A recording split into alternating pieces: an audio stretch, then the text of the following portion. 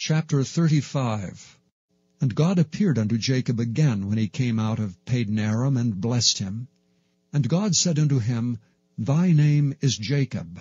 Thy name shall not be called any more Jacob, but Israel shall be thy name. And he called his name Israel. And God said unto him, I am God Almighty. Be fruitful and multiply.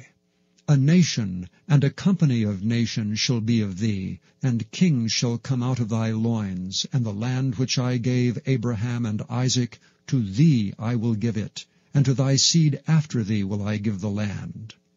And God went up from him in the place where he talked with him, and Jacob set up a pillar in the place where he talked with him, even a pillar of stone, and he poured a drink offering thereon, and he poured oil thereon.